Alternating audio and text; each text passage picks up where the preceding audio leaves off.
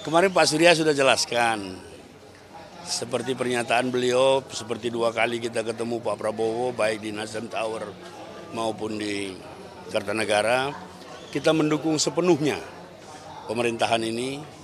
Kita berkepentingan pemerintahan ini sukses, tapi atas dasar pertimbangan banyak hal, kita memutuskan juga untuk tidak masuk dalam kabinet. Menurut kita, pikiran-pikiran kita kalau diterima itu jauh lebih penting daripada kita masuk dalam kabinet. Pikiran-pikiran kita, kontribusi kita terhadap berbagai hal itu akan jauh lebih berarti daripada secara fisik kita masuk. Tapi kita bagian tak terpisahkan dari pemerintahan ini.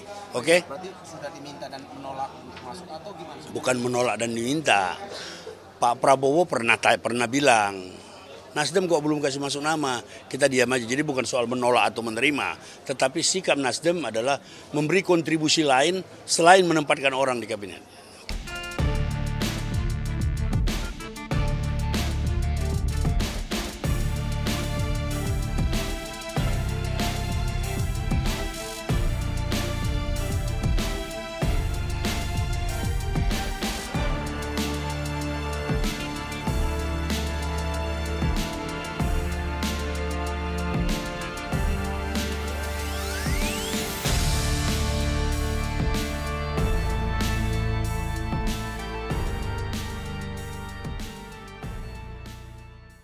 Junjung tinggi prinsip jurnalisme dalam setiap tayangan terbaiknya.